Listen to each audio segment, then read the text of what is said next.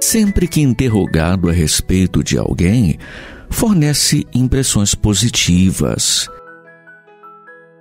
Na impossibilidade de fazê-lo, porque a pessoa tenha uma conduta irregular, silencia ou elucida com bondade, evitando piorar-lhe a situação ou torná-la mais divulgada.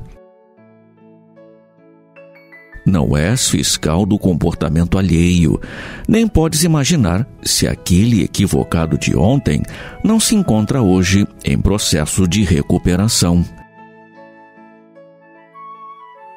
Sejam tuas a opinião que edifica e a palavra que ajuda sempre.